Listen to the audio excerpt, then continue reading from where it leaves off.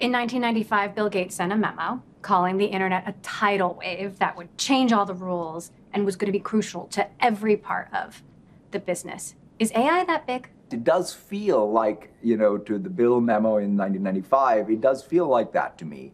Um, so it's as big as the internet. I think it's as big. It's just like in all of these things, right? We in the tech industry are, you know, classic experts at overhyping everything. What motivates me is I want to use this technology to truly do what I think at least all of us are in tech for, which is democratizing access to it. How much market share do you think you can really take from Google? Like, what's your prediction? Prediction. Give me a give look. Me your we gut.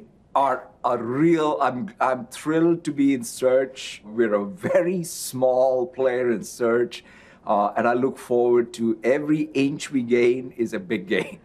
You're coming for search, they're coming for office. They're now putting AI in their Google Docs, Sheets, and Gmail. Are we just going to see you and Sundar trying to one up each other every week in this race to AI greatness? I mean, look, at the end of the day, the fun part of being in this industry and competing is, you know, is, is the innovation. Uh, and competition is, the last time I checked, a fantastic thing for users and the industry.